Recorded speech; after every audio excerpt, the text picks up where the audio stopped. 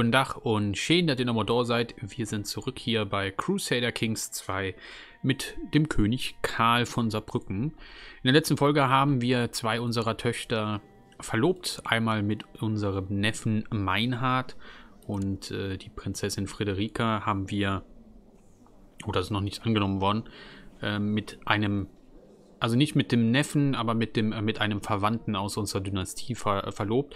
Und zwar den Nachfolger auf das Königreich Dänemark. Und wir befinden uns momentan auch in zwei Kriegen. Ähm, eins, wo wir aktiv dran beteiligt sind. Einmal hier wegen ähm, dieser dänischen Revolte, beziehungsweise nicht die Revolte, sondern dieser Abenteurer. Und äh, gleichzeitig noch so passiv hier wegen Pannonia. Was aber relativ bald vorbei sein sollte. Deswegen wollen wir natürlich diesen Anspruch hier unterstützen. Also weiter, dass äh, der gute Tord, ne Björn, Björn ist es, ähm, weiter Herrscher bleibt. Wir werden mal versuchen, hier oben anzugreifen. Die Lehrzeit in Religion und Bildung von Klein Udalrich Wukilo ist abgeschlossen. Die Ergebnisse sind nicht so gut. Wie oft? Ach, was soll's. Okay, er ist ein Wanderpriesterer geworden. Er ist nun erwachsen. Ja, Nachfolger auf...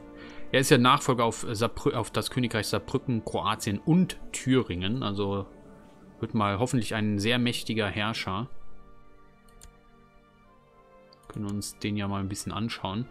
Wanderpriesterer, ungehobelt, gesellig, treuherzig und keuch. Ja, kann ein bisschen Verwaltung, aber das war es dann auch. Er hat hier auch noch einen Anspruch. Könnten wir das eigentlich durchsetzen? Ich glaube nicht. Nee. Da müssen wir jetzt auch noch mal bald äh, durchschauen, ob wir da noch ein paar Sachen finden. Denn äh, der Herzog Fukasin, dem könnte man noch etwas geben.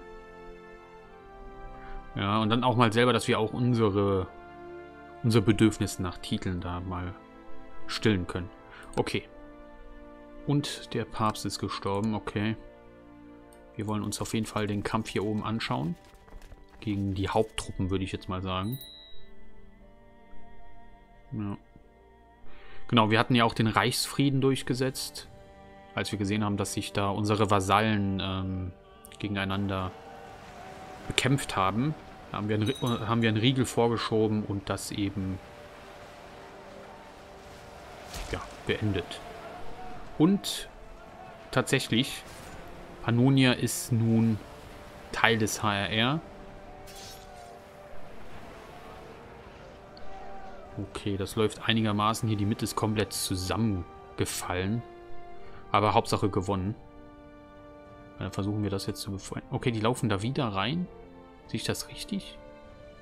Ach, die kämpfen jetzt hier gegen die Rebellen. Wow, das sind aber sehr viele Truppen. Naja, ist egal, wir sind hier dabei, das jetzt zu befreien. So, er ist jetzt Teil, auch Teil, ja genau, er ist ja jetzt König und er ist als König jetzt Teil des HRR. Genau, das war ja die Frage, die ich mir gestellt habe, ob das denn so funktioniert. Oder eben nicht. Und es funktioniert so. Und jetzt kommen die Truppen hier natürlich nach äh, in den Norden. Werden das dann jetzt auch machen. Das heißt, wir können eigentlich überlegen, dass wir bald unsere Truppen nach Hause bringen. Oh, es gibt eine gefährliche Fraktion. Graf Ehrenfried von Kroatien. Nee, äh, die wollen gerne, dass er den Titel bekommt.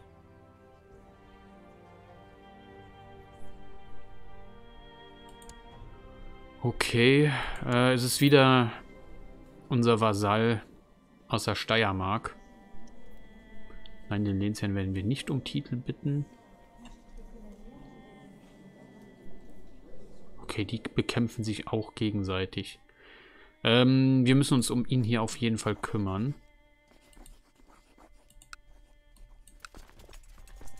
Weil der macht jetzt äh, dauerhaft Stress. Okay, Geldern soll erobert werden.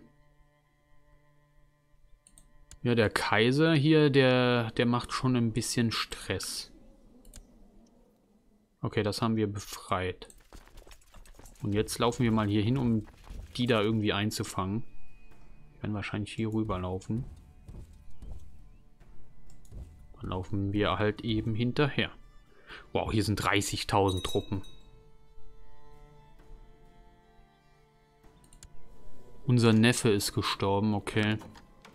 Ja, es gibt eine Verschwörung, wir werden das ablehnen. Nein, unseren Kaiser wollen wir definitiv nicht umbringen.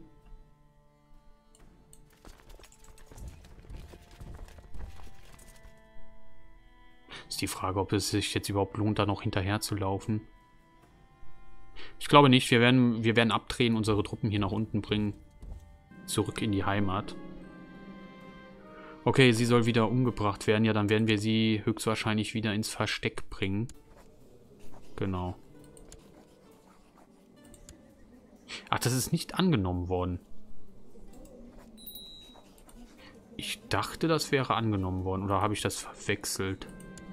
Nee.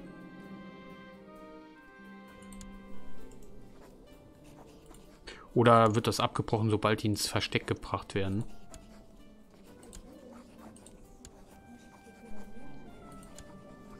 Nee. Okay. Es kann sein, dass das natürlich wieder korrigiert wurde. Nachträglich, aber... Ah, schaut mal an. Okay. Er ist schon mit jemand anderes verlobt worden. Da waren wir wahrscheinlich mit, ne, also eine Sekunde zu spät da gewesen. Okay, schade. So, die braucht einen Bildungsschwerpunkt.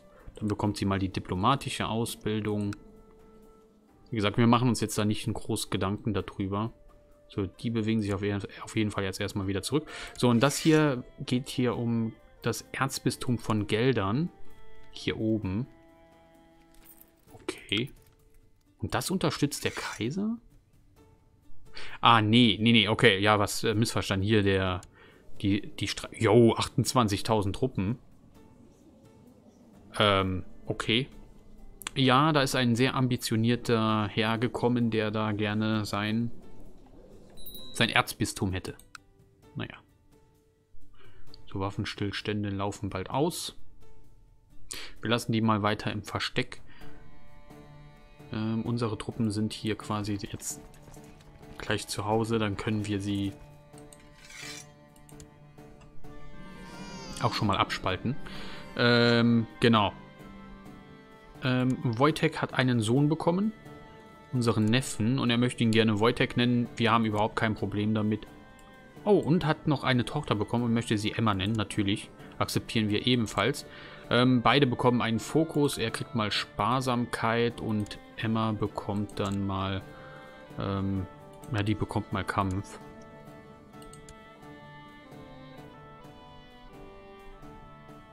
Ja. Ansonsten, wie gesagt, ich denke, diese Invasion wird es fehlgeschlagen.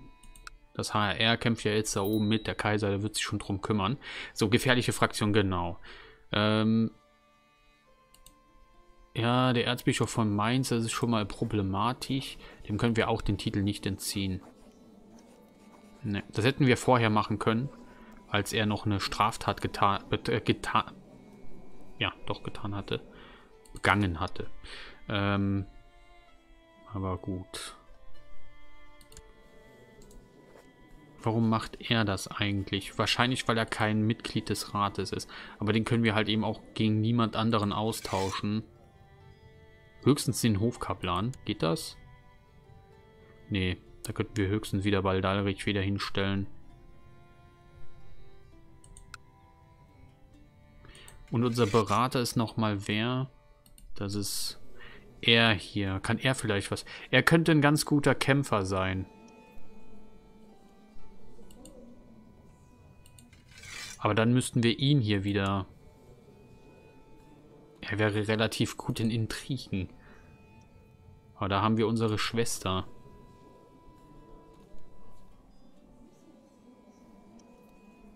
Ja, schwierige Sache. Er hat auch keinen kein Interesse daran, da nicht sich dran zu beteiligen. Nee. Okay. Ja, ist halt eben riskant, aber ich weiß jetzt auch nicht, was wir da jetzt genau machen können. Hm. Also so Gelage oder sonst was, äh, das werden wir nicht machen. Also das passt zu ihm überhaupt nicht. Okay, Sachsen hat einen eine Grafschaft übernommen und ein Herzogtum. Ah, okay, er hat halt eben das komplett übernommen, okay. Interessant.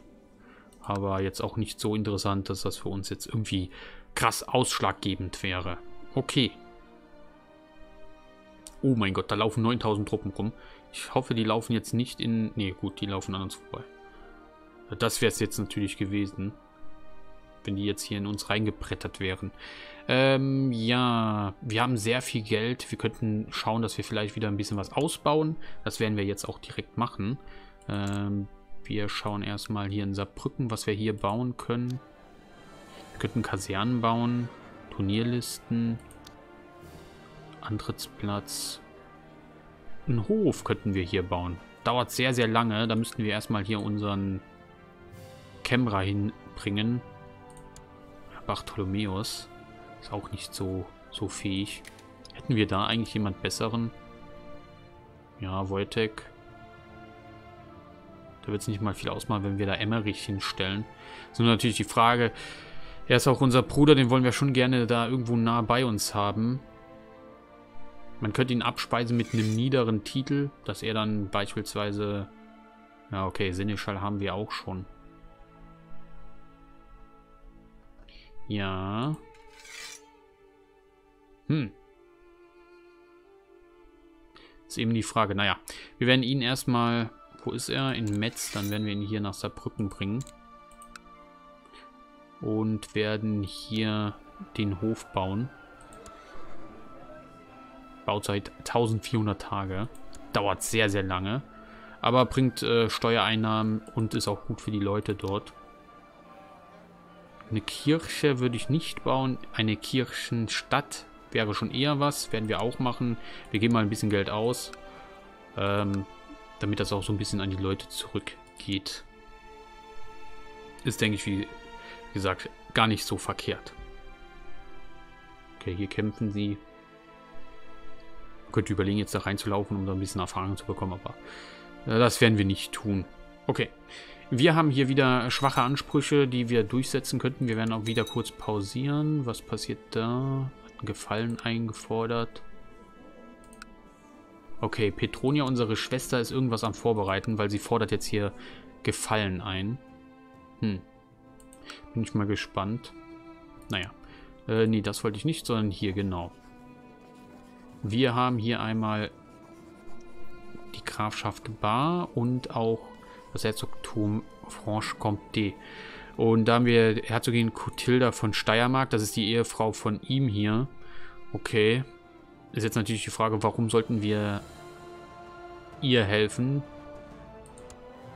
Unser Kanzler, das könnte ich noch eher verstehen. Aber auch das eher weit weg.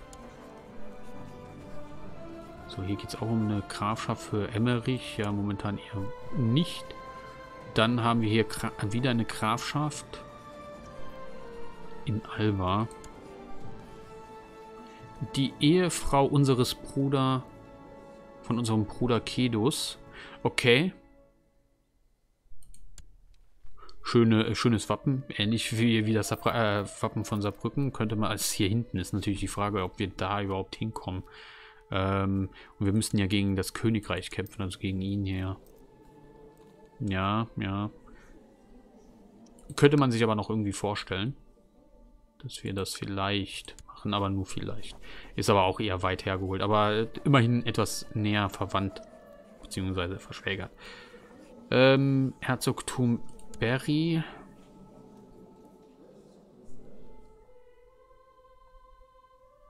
Was ist das genau? Das ist das hier, das wäre dann Teil von uns. Das wäre aber schon wieder so zersplittert, also das ist dann auch so, sieht auch nicht schön aus. So, dann haben wir hier die Sachen gegen Pannonia würden wir gegen ihn hier kämpfen. Wir haben hier selber Ansprüche für uns. Wir können auch mal schauen, dass wir vielleicht mal noch Ansprüche fingieren lassen. Dann will Hilminia von Wittelsbach. Die hat einen Anspruch. Okay, das wäre dieses Herzogtum. Wäre auch relativ groß. Dann hätten wir das Herzogtum Pest, das wäre das hier. Das wäre er. Der Ehemann von unserer Schwester, okay.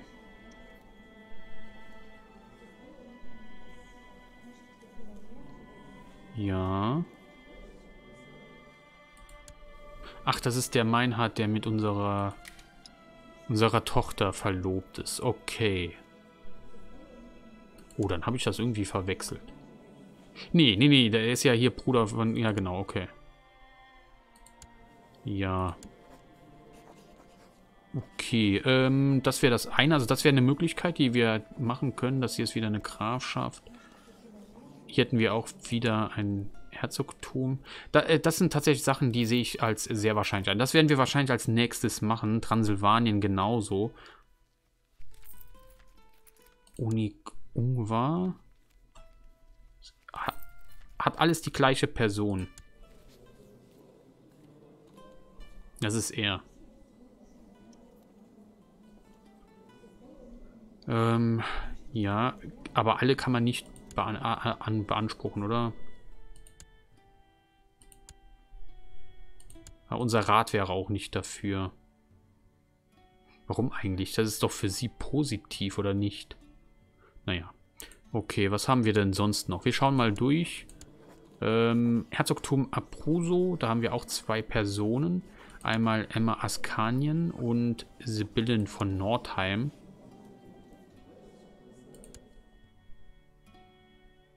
Auch keine Personen, die jetzt so sonderlich nah sind. Welches Herzogtum wäre das? Das wäre hier weiter im Süden, okay. Das wäre wieder eine Grafschaft. Hier hätten wir wieder ein Herzogtum.